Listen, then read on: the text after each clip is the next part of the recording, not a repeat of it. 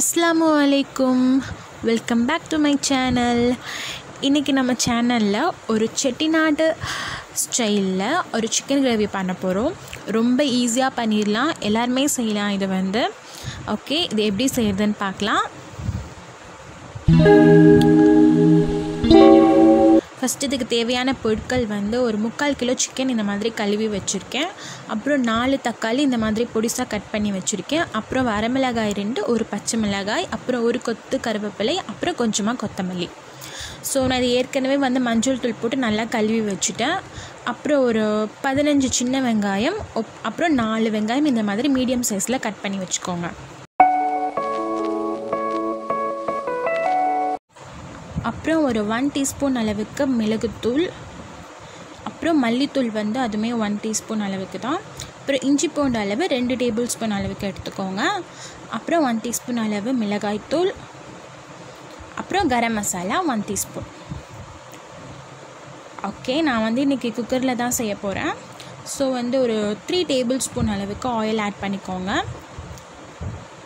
So first நம்ம என்ன போட போகிறோன்னா உளுத் உளுத்தம்பருப்பு இது வந்து ஒரு ஒன் டீஸ்பூன் அளவுக்கு ஆட் பண்ணிக்கோங்க. அப்புறம் வந்து ஜீரகம். ஜீரகம் வந்து ஒரு ஹாஃப் டீஸ்பூன் அளவுக்கு ஆட் பண்ணிக்கோங்க. ஸோ செட்டிநாடு பேஸ்டுனாவே இது எல்லாமே இருக்கணும். அப்புறம் வந்து சோம்பு பெருஞ்சீரகம். இது ஒரு ஹாஃப் டீஸ்பூனுக்கு ஆட் பண்ணிக்கோங்க. நெக்ஸ்ட்டு ஒரு பத்து மிளகாய் ஆட் பண்ணிக்கோங்க. அப்புறம் ரெண்டு மீடியம் சைஸ் துண்டு பட்டை. நான் இதில் ஏலங்க ஏலக்காய் லவங்கம் இதெல்லாம் ஆட் பண்ணல. பட்டையோடு ஸ்டாப் பண்ணிட்டேன். இதெல்லாம் நல்லா எண்ணெயிலேயே பொரியட்டும். நெக்ஸ்ட்டு பச்சை மிளகாவையும் வரமிளகாவையும் ரெண்டுத்தையும் சேமாக ஆட் பண்ணுறேன் இது ரெண்டுமே போடுங்க. இதை நல்லா எண்ணெயிலேயே வதக்கிக்கோங்க. அதாவது எண்ணெயிலேயே கொஞ்சம் பொரியட்டும். நெக்ஸ்ட்டு நான் சின்ன வெங்காயம் ஆட் பண்ண போகிறேன்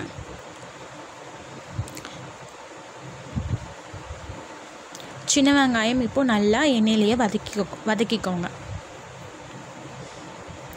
இது ரொம்ப டேஸ்ட்டாக இருக்கும். சாம்பாருக்குலாம் சாம்பார் சாதத்தோடு சாப்பிடும் போதெல்லாம் சூப்பராக இருக்கும். அப்புறம் நம்ம பெரிய வெங்காயம். இதையும் நல்லா வதக்கிக்கோங்க. நம்ம நார்மலாக பண்ணுற கிரேவியை விட இந்த மாதிரி பண்ணிங்கன்னா ரொம்ப டேஸ்ட்டாக இருக்கும். அப்புறம் வந்து கருவேப்பிலை.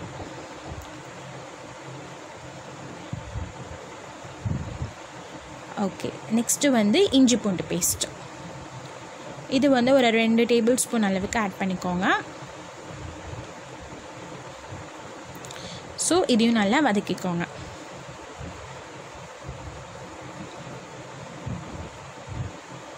அப்புறம் இதுக்கு தேவையான அளவு உப்பு. எனக்கு கையில் போட்டால் தான் வந்து உப்போட அளவு தெரியும். ஸோ வந்து உப்பு போ எவ்வளோ தேவையோ ஆட் பண்ணிக்கோங்க. நிறைய பேர் ஸ்பூனில் ஆட் பண்ணுறாங்க பட் எனக்கு ஸ்பூனில் போட்டேன்னா சொதப்பிடுது உப்பு மட்டும். ஸோ அதனால் எப்போவுமே நான் கையில் தான் வந்து உப்பு போடுவேன். அப்புறம் தக்காளி. தக்காளி நல்லா பழம் தக்காளியாக இருந்தால் நல்லாயிருக்கும். பழமாக இருந்துச்சுன்னா நல்லாயிருக்கும். ஸோ நீங்கள் வந்து பழமான தக்காளி ஆட் பண்ணிக்கோங்க. இதை நல்லா மிக்ஸ் பண்ணிக்கோங்க. நல்லா வதங்கணும். நல்லா எண்ணெயிலே வதக்கிக்கோங்க. அப்புறம் ஒன் டீஸ்பூன் அளவுக்கு மிளகுத்தூள். ஸோ நம்ம எல்லா மசாலாவையும் இப்போயும் ஸ்டெப் பை ஸ்டெப்பாக ஆட் பண்ண போகிறோம் அப்புறம் மல்லித்தூள். இது வந்து குழம்பு தூள் தான் நம்ம வீட்டில் அரைச்சி வைப்போம்ல அந்த குழம்பு தூள். அப்புறம் மிளகாய்த்தூள் அப்புறம் கரம் மசாலா. கரம் மசாலா கண்டிப்பாக போடுங்க. ஸோ இதை நல்லா நம்ம எண்ணெயிலே வதக்கிக்க போகிறோம் அட்லீஸ்ட் ஒரு ஃபைவ் டு டென் மினிட்ஸ் ஆச்சு எண்ணெயிலே வதக்கிக்கோங்க. இப்போ சில பேர் வதக்காமல் அப்படியே சிக்கனை கொட்டிட்டு அப்படியே மூடிட்டு குக்கரை மூடிட்டு டக்குன்னு வெந்தவொடனே எடுத்து வச்சிடுவாங்க அதில் டேஸ்ட்டே இருக்காது. நம்ம ஒரு டென் மினிட்ஸ் ஆச்சு வதக்கணும். ஸோ வதக்கிட்டு நெக்ஸ்ட்டு நம்ம சிக்கனை ஆட் பண்ண போகிறோம் சிக்கனை ஆட் பண்ணிவிட்டும் ஒரு டூ த்ரீ மினிட்ஸ் நல்லா வதக்கிக்கோங்க.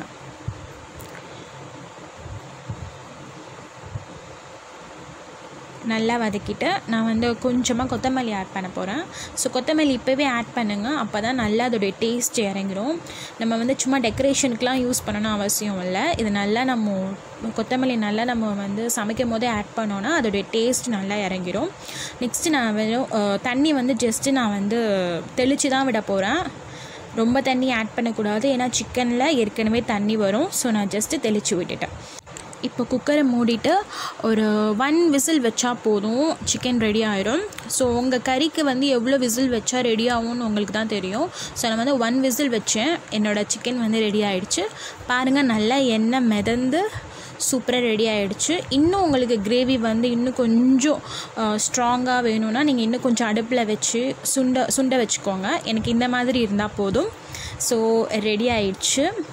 Chicken Chettinad chicken gravy ready so இதே மாதிரியே ட்ரை பண்ணி பாருங்கள் டேஸ்ட் அல்டிமேட்டாக இருக்கும்.